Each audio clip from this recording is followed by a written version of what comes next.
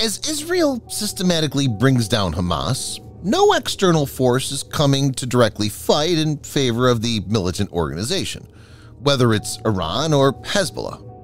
Apart from small, sporadic missile and drone attacks, it's only been lip service. One crucial reason for this is Israel's nukes. The main aim of Israel's nukes is to thwart any attempt to destroy the Jewish state. Israeli nuclear weapons provide assurance against many types of scenarios, like defeat in conventional warfare and deterrence against nuclear, chemical, and biological attacks. In this video, Defense Updates analyzes why Israel's enemies have valid reasons to fear its nukes. Let's get started.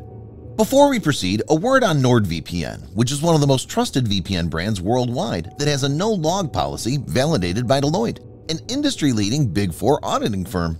NordVPN provides an encrypted tunnel that protects your privacy by preventing external entry to your internet traffic, as well as enabling you to access content that's blocked based on geolocation.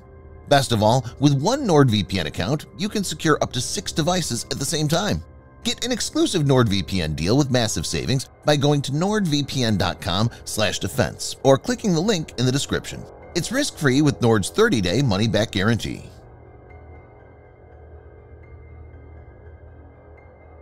On May 14, 1948, David Ben-Gurion, the head of the Jewish Agency, proclaimed the establishment of the State of Israel.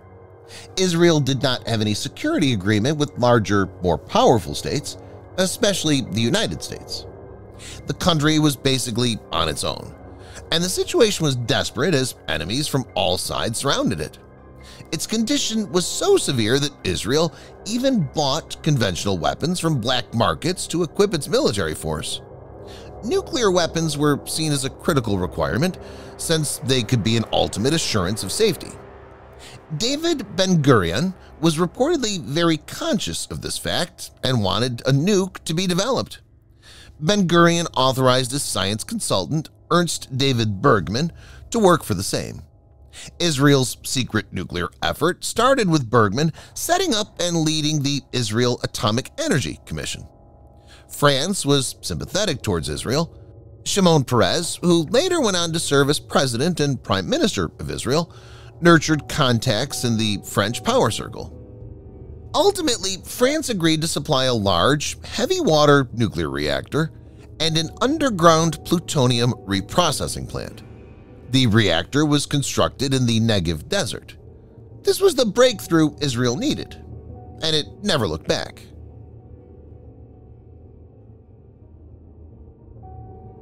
According to intelligence assessments of the United States in the 1960s, it was concluded that Israel probably had nuclear weapons. The U.S. tried to slow down Israel's program with diplomatic pressure and make it join the Nuclear Non-Proliferation Treaty, but these efforts fell flat in front of determined Israeli leadership. In 1969, U.S. President Nixon and Israeli Prime Minister Golda Meir met and reached an agreement. As per that, the United States will no longer put effort on any slowdown of Israel's nuclear program or demand inspection. In turn, Israel would not declare or test its nuclear weapons. Most strategic analysts believe that Israel has a decent stockpile of nuclear bombs, it's like an open secret. In September of 2016, in a private email that somehow managed to make it into the public domain, former Secretary of State and retired U.S. Army General Colin Powell referred to Israel as having an arsenal of 200 nuclear weapons. While this estimate seems to be on the higher side, there's no doubt that Israel has a mature nuclear armament program, which has produced a significant number of nukes.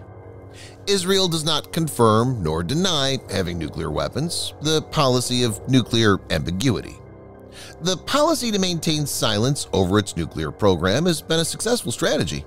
It's not complicated the situation in the region, but also provided Israel with the needed leverage with America. There are some concrete details available about Israel's nuclear delivery options through years of analysis by different intelligence agencies of the world. Israel's weapons are deployed onto Israel's version of a nuclear triad.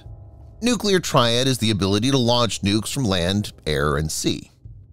Israel's initial nuclear weapons were large gravity bombs.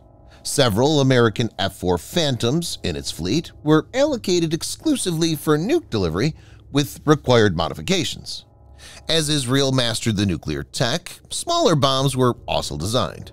These are most likely to have F-15I and F-16I fighters as the delivery platform.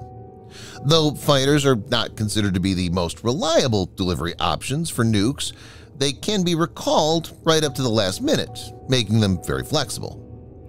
Israel has a very potent land-based nuke delivery option. Jericho-1 was the first missile developed by Israel for this purpose. It was designed in cooperation with France. Further iterations of Jericho were developed, namely Jericho-2 and Jericho-3. It's believed that all Jericho-1s are retired and replaced with Jericho-2 and Jericho-3. Jericho 2 has a range of 932 miles, while Jericho 3 has a range of at least 3,106 miles. The range of these missiles enables them to reach Arab countries as well as Iran. The total number of Israeli ballistic missiles is not known, but estimates by experts indicate that it's more than 50 in number. As the sea-based delivery option, Israel has five German-built Dolphin-class submarines. Experts believe that these carry a classified number of nuclear-tipped cruise missiles. These cruise missiles are designed from the Popeye air-to-ground missile or the Gabriel anti-ship missile. The submarine-based option is the most survivable part of the nuclear triad, since they're impossible to destroy with a preemptive strike and will enable Israel to strike back in case of a nuclear exchange. Israel's nuclear capability came at the right time. In the 1973 Yom Kippur War, Arab enemies had the upper hand in the initial phase as they were able to achieve strategic surprise. Israel was cornered, and it was the first time Israel came close to having to use nukes. Direction was given to load the warheads in Jericho-1 surface-to-surface missiles and F-4 Phantoms.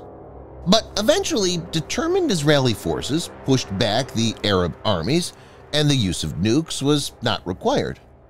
Though Iran is working hard to get its own nuke, currently Israel is the only one in the Middle East to have an operational nuclear option, and this is unlikely to change anytime soon. This means Israel has a major advantage in terms of military capability, and it'll be suicidal for its rivals to touch it.